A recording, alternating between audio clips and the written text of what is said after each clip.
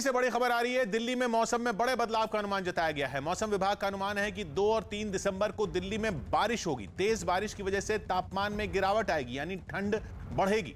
मौसम विभाग का अनुमान है कि एक वेस्टर्न डिस्टर्बेंस सक्रिय हुआ हो रहा है, जिसकी वजह से पहाड़ों पर भी बारिश होने का अनुमान है और इसका असर दिल्ली समेत पूरे उत्तर भारत में होगा।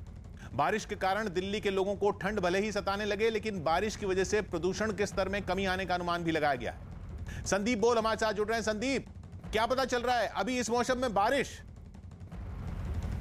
जी, बिल्कुल किशोर जिस तरीके का पूर्वानुमान मौसम वैज्ञानिकों ने लगाया है। उसके मुताबिक एक वेस्टर्न डिस्टरबेंस के चलते जो है, दो और तीन तारीख को पश्चिम भारत के इलाकों में बारिश होगी, खास तौर पर पहाड़ी इलाकों में। और पहाड़ी इलाकों में बारिश हुई तो उसका असर मैदानी इलाकों में देखना तय है। यानी कि मैदानी इलाकों में, दिल्ली समेत बाकी इलाकों में जो है, ठंड बढ़ सकती है। लेकिन किशोर, इस वेस्टर्न डिस्टर्बेंस के चलते एक चीज़ अच्छी ज़रूर हो रही है कि अनुमान लगाया गया है कि पाँच और छः दिसंबर को दिल्ली और एनसीआर के इलाके में बारिश होगी। और अगर यह अनुमान सही होता है और बारिश होती है दिल्ली और एनसीआर के इलाके में तो जिस तरीके के प्रदूषण का स्तर है, यहाँ पे एयर क्वालिटी इंडेक्स जो है, वो बद से बदतर स्थिति में है, उसमें सुधार आएगा।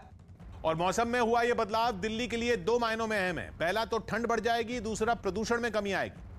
मौसम विभाग का अनुमान है कि वेस्टर्न डिस्टर्बेंस की वजह से दिल्ली समेत पूरे उत्तर भारत में बारिश हो सकती है। दो और तीन दिसंबर को बारिश का अनुमान जताया गया है और इस बारिश के बाद तापमान में भी गिरावट दर्ज की जाएगी, यानी दिसंबर शुरू होते ही कड़ाके की ठंड पड़ने का अनुमान है। हालाँकि राहत की बात यह भी होगी कि बारिश की वजह से दिल्ली की हवा साफ़ हो सकती है और हवा में घुले प्रदूषण के कण हटने के कारण प्रदूषण के स्तर में कमी आ जाएगी।